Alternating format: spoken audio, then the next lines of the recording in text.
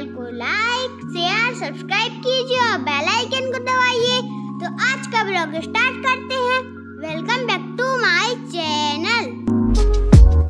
Hello दोस्तों कैसे हैं आप सब? आई होप कि आप सब अच्छे होंगे खुश होंगे और मैं भी बिल्कुल बढ़िया हूँ। तो आज बन रहे हैं नूडल्स और इन बच्चों का अभी आपको मैंने बताया था कि छुट्टियाँ चल रही हैं और ये घर पे हैं। तो जब ये घर पे होते हैं तो इसी प्रकार से इन लोगों के आ, वो भी चलता है, मन कि आज ये खाएँ, आज वो खाएँ। ये लोग तो बस बैठे होते हैं और पूछते हैं, काय मन का खाएँ?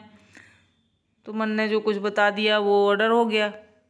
तो बस वो हम लोगों का काम होता है, इनको फॉलो करना तो बस करने लगे। तो बना रहे हैं चाउमीन और इसके बाद देखिए फिर छुट्टी वाला दिन होता है तो ऐसा ही होता है। मैं वही बात, कह रही थी कि अब आप लोगों के तो जलवे हैं भाई, जो कह दिया सो हो गया। है?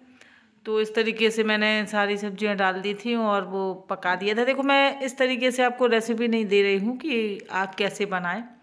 मैं तो सिर्फ़ आप लोगों को अपना रूटीन शेयर कर रही हूँ। तो अभी मैंने सिर्फ़ प्याज वगैरह जो है डाली थी और इसके बाद देखिए सब्ज़ियाँ जो हैं, शिमला मिर्च है, पत्ता गोभी, गाजर और जिसको जितनी सब्ज़ियाँ डालनी हो, डाल सकते हैं। नहीं तो बच्चे वैसे तो सब्ज़ियाँ खाते नहीं हैं, इसमें तो थोड़ा बहुत और संयोग तो इसकी भी बीन के रख देता है। गुनगुन तो खा ही लेती है, लेकिन संयोग इसकी भी एक एक सब्ज़ी बीन के अलग रख देगा, ये सिर्फ़ नूडल्स ही खाएगा। चाहे कुछ भी बना दो, आप सब्ज़ी डाल देंगे तो सब्ज़ी अलग कर देगा। तो ये उसकी आदत होती है, और ये देखिए बॉयल हो गई हैं, और इनको कम ही बॉयल किया जाता है, क्योंकि ये फिर चिपकने लगती हैं।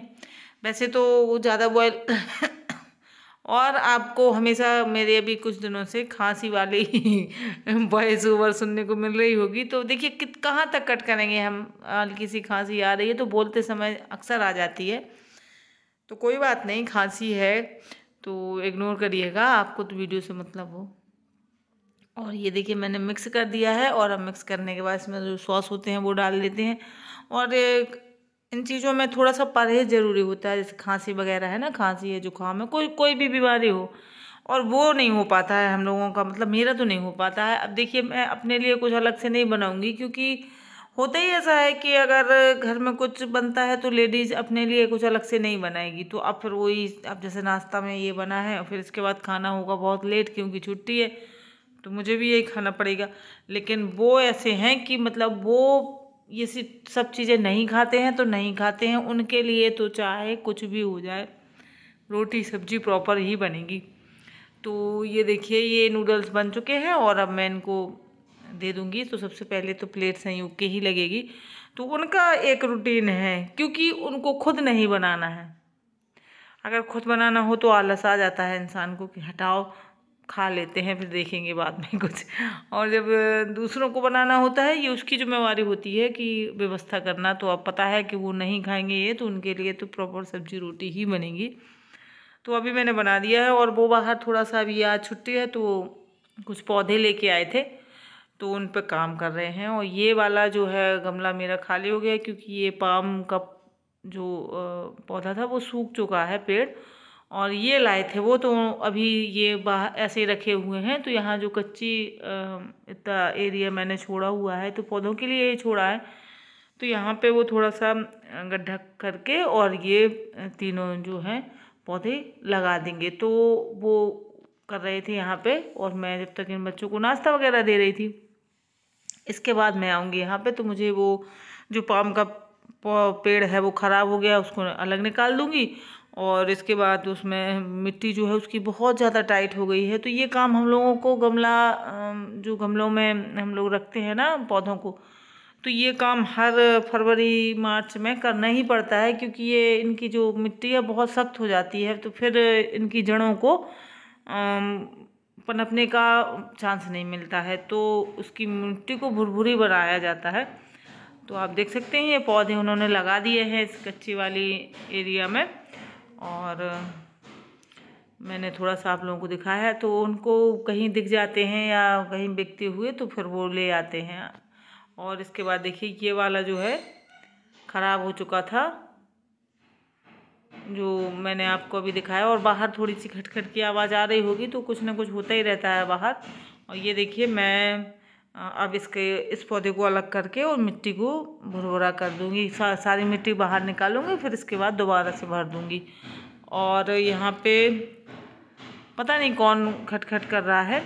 और अगर मैं अंदर वॉइस ओवर करती हूँ तो वहाँ पे बच्चे हैं क्योंकि छुट्टी चल रही है तो उनकी टीवी चल रही है। और उस चक्कर में मैं बाहर वाले के रूम में बैठी हूँ तो यहाँ बाहर कोई खटखट कर रहा है।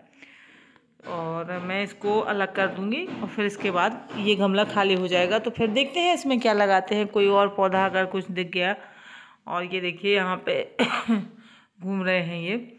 और यहाँ पे क्या हो गया था मेरी जो ये पाइप है इसकी पानी की तो ये फट गई थी।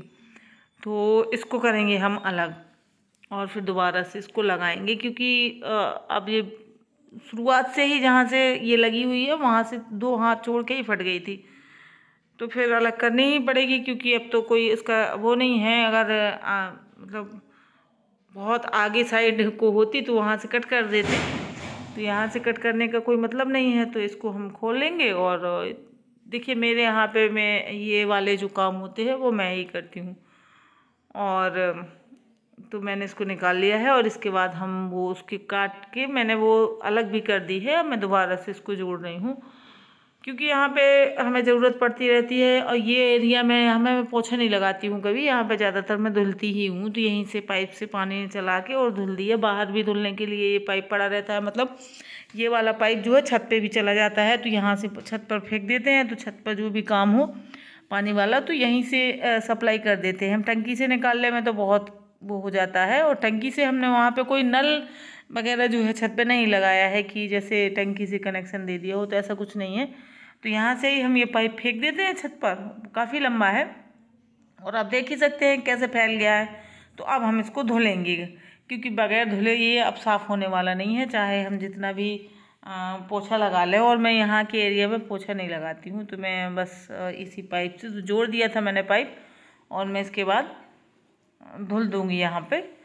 तो इस तरीके से, और यहाँ पे अक्सर, और धुलने का इसलिए करती हूँ ताकि पौधों में भी पानी चला जाए, कच्ची मिट्टी में अलग से पानी नहीं देना पड़ता है, क्योंकि यहाँ से पानी, ये सारा जो पानी है वो बाहर कम जाता है, जो कच्चा एरिया है हमारे यहाँ, उसी में चला जाता है तो हमें पौधों में भी पानी अलग से नहीं देना पड़ता है तो अक्सर जब भी यहाँ धुलता है तो पौधों की ढराई भी हो जाती है। तो इस तरीके से मैंने यह पूरा धुल दिया था।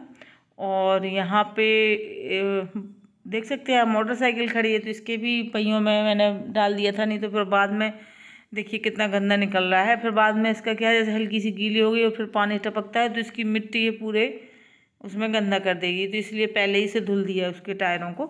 और ये देखिए, यहाँ पे थोड़ा सा लगा दिया, क्योंकि यहाँ पे ये कॉर्नर बने हुए हैं तो यहाँ पे धूल मिट्टी जम जाती है।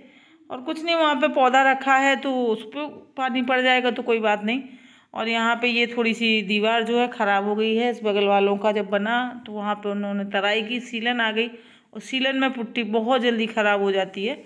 तो यहाँ की पुट्टी जो है उधड़ने लगी है। अब इसका काम होना है, देखते हैं, कलर वगैरह जो है चेंज होना है तो फिर कब तक होता है। और यहाँ पे मैं फिर झाड़ू से पानी बाहर निकाल दूँगी। तो इसी सामने वाले एरिया का पानी जो है बाहर से निकलता है, बाकी का जो है वहाँ सब उसी कच्ची मिट्टी में चला जाता है पानी। तो अभी तो मैंने वो कारपेट बिछाए हुए हैं तो उस साइड तो नहीं धोएँगे हम, क्योंकि कारपेट उठाने पड़ते हैं और यहाँ बस सामने सामने ही धुल देंगे, क्योंकि यहीं पे मिट्टी हुई है और कहीं नहीं हुई है।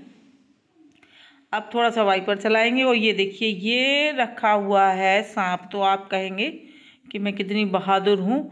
और मैं इस तरीके से सांप को उठा लेती हूँ तो ये संयोग का नकली खिलौने वाला सांप है, लेकिन ये असली लगता है। हम लोग खुद डर जाते हैं, जबकि मैंने ही ला के दिया था इसको। और जब कभी ये ऐसे पड़ा होता है तो अचानक से नज़र पड़ जाए तो हम लोग खुद ही डर जाते हैं। और आज का वीडियो आप लोगों को कैसा लगा कमेंट में ज़रूर बताएँ, और मिलेंगे अगले वीडियो में। तो तब तक के लिए बाय बाय दोस्तों।